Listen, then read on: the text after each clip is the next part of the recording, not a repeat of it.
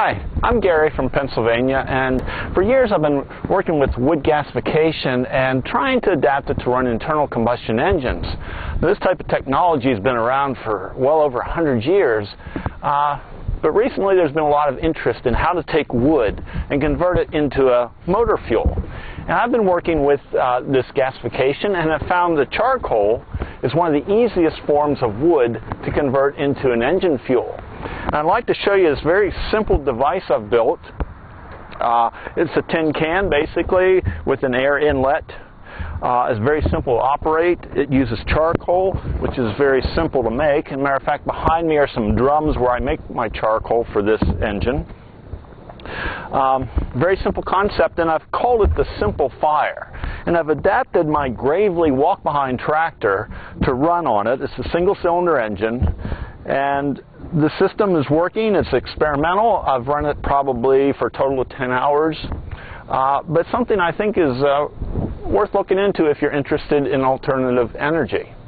So I'm going to grab the camera and show you some of the components of this Simple Fire, how it's hooked up to the tractor, and now I'm going to load it up and get it fired up.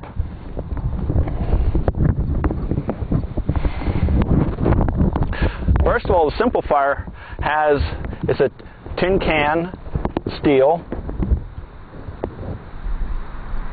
And uh, let me zoom back out here.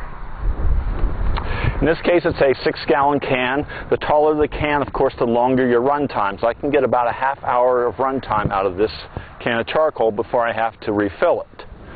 It's composed of the air inlet.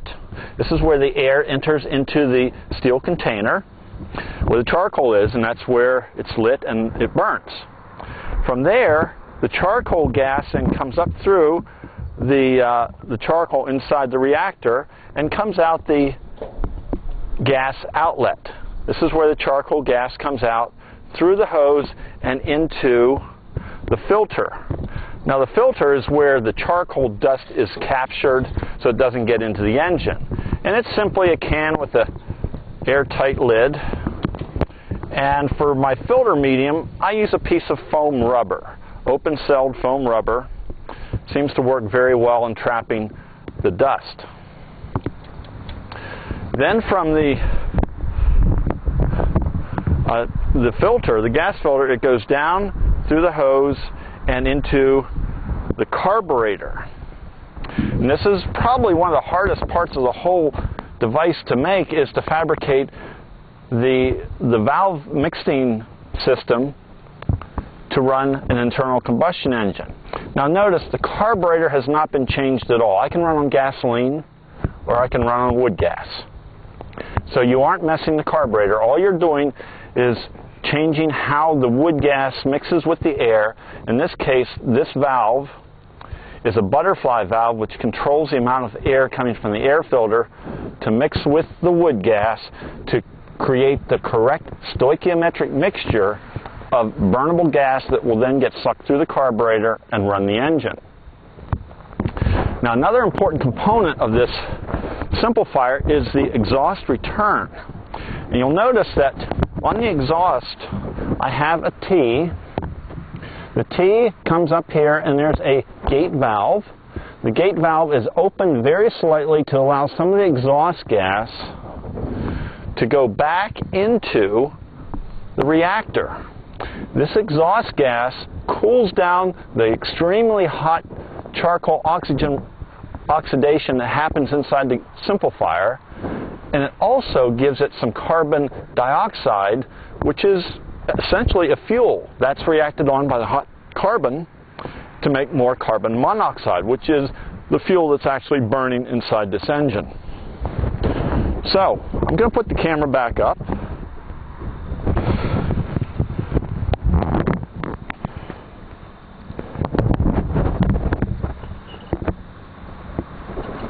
And let's get this thing filled up.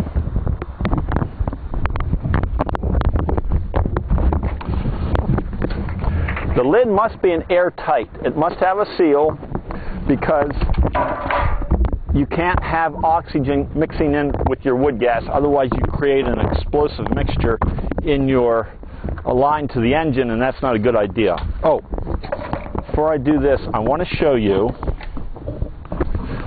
inside the reactor is the nozzle. It's so dark in here you may not be able to see it, but I'll unscrew it, bring it up to the camera, and here you can see the nozzle. Uh, it's just a piece of steel pipe. On the end of it, I put a piece of stainless steel to protect it. Stainless steel does not oxidize as quickly as regular mild steel. And you can see that it gets pretty hot in there, and, and the uh, stainless steel is starting to corrode. Uh, I can just keep extending this out a little bit, and eventually this will be thrown away, and I'll replace it. This is considered a consumable item. Uh, after about 10 runs with this, that's the shape it's in. I expect more. I probably didn't let enough exhaust gas in, and that's why it's burning up. But this just screws into the air inlet.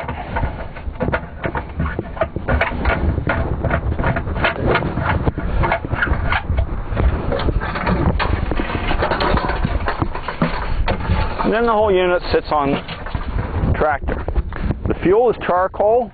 The largest pieces are three quarters of an inch in diameter. The smallest ones are about eighth of an inch. And this gets filled to the very top.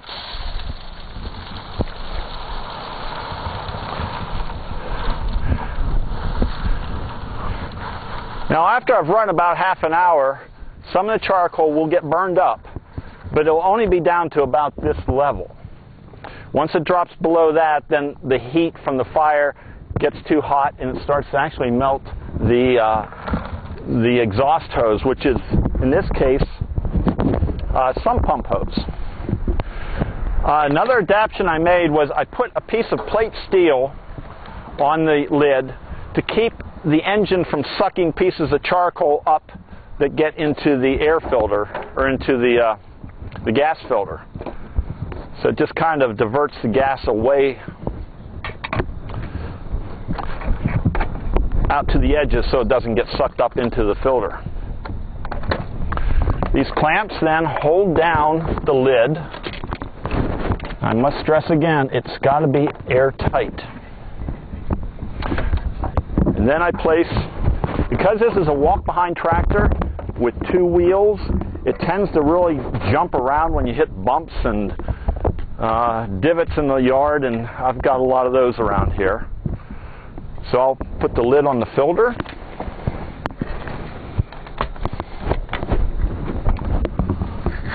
Clamp it in place. The gas hose is just plain sump pump hose, very simple, easy to get at any hardware store. Hook up the exhaust return. I want to turn off the gas valve And now we're ready to light the Simple Fire. Now to do that, I'm going to use a little battery operated fan. All I do is pull this hose off, place it on there, turn on the fan,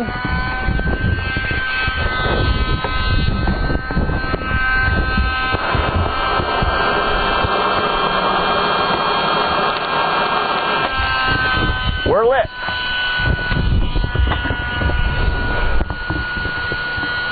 It'll take about one minute for the charcoal in there to get enough mass and heat to form good wood gas or charcoal gas to run the engine. So we got a few minutes here. But if you're interested in more information on this type of uh, Simple Fire, uh, go to driveonwood.com and go to the files section. And there I have a, a kind of instruction manual on how I built this and things to think about when building it. So if you're interested in trying this, uh, I recommend you go there and check it out. There's also a forum on that on that website where we, we uh, other people that have made this type of device can talk about it. Now, one other thing. Before I used the fan, I started this engine using gasoline, dripping it into the uh, into the uh, intake manifold. You can use that to start this. I've done it quite a bit. This is actually the first time I've ever used this fan, so I'm hoping it works pretty well. So, it's been about a minute. Let's give it a try.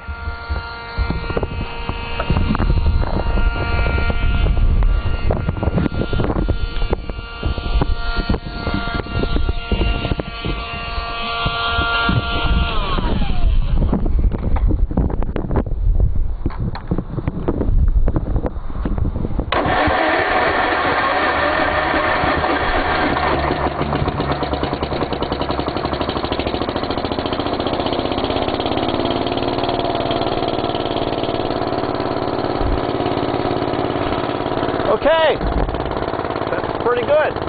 Uh, now I'm ready to open up the exhaust valve. I have a mark on here. I take it around one full turn and then another quarter. And that will allow the air to cool down, the exhaust to cool down my hot fire.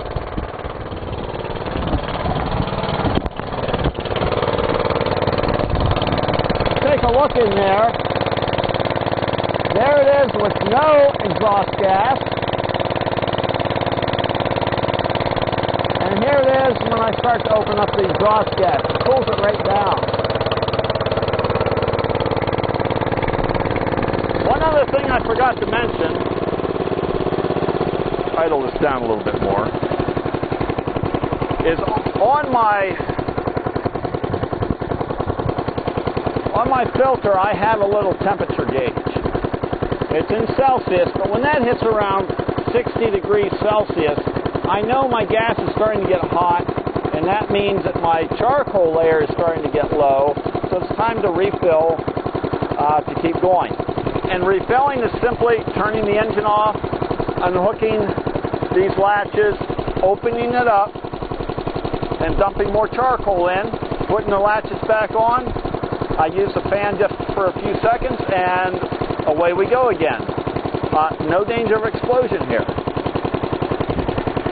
So, I'm ready to start mowing.